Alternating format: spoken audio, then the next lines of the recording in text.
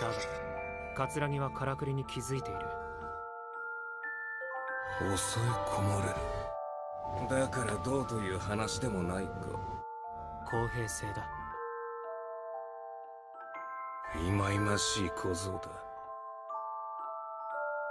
割と最初からだ。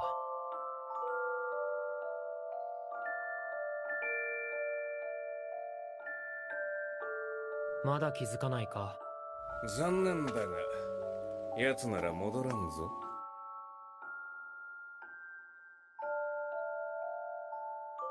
自分の身を守るためか。そうだ。ほら頑張れ頑張れ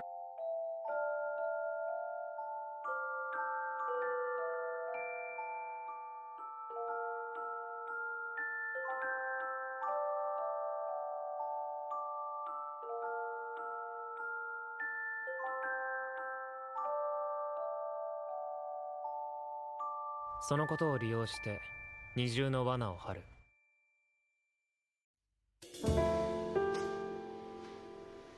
ダメ押しだ。もう理解してます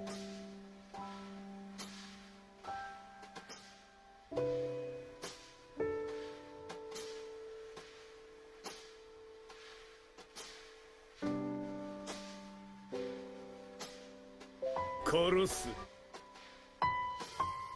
助けてほしいってな。真っ先に殺してやる。俺は止められない。小僧の体をものにしたら。今の俺は窮地なのか。俺の縛りで生き返る。お前が届けに書いた退学理由。言ったはずだぞ。カメラの件だったのか